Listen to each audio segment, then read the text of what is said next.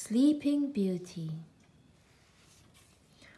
Once, when fairies still roamed the land, a baby princess was born. Seven fairies came to her christening and gave her wonderful gifts goodness, beauty, kindness, curiosity, generosity, bravery, cleverness. It was a lovely party until a wicked fairy arrived. You didn't invite me, she shrieked. But I have a gift too. When the princess is 16, she'll prick her finger on a spinning wheel spindle and fall asleep for a hundred years. No, gasped the queen. Lock away all the spinning wheels, cried the king. My daughter must never be allowed to prick her finger. Years passed happily, and the princess grew up. She was clever, beautiful, brave, and good. On the morning of her 16th birthday, everyone was busy getting ready for her party, so the princess went exploring.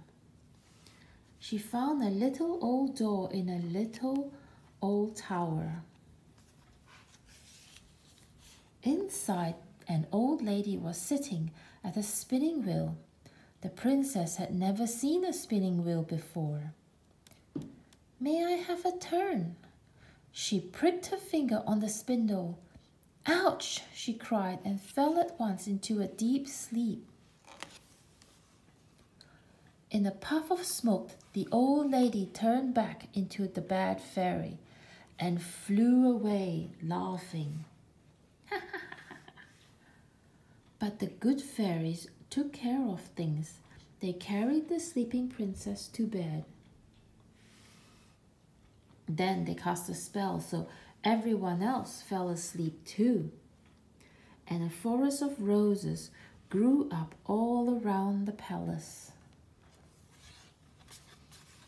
For a hundred years, the palace stayed lost in the forest of roses.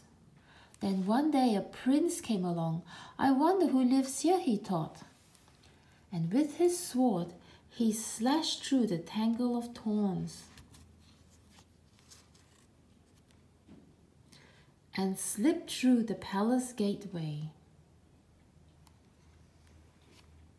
He crept past the sleeping guards and into the palace.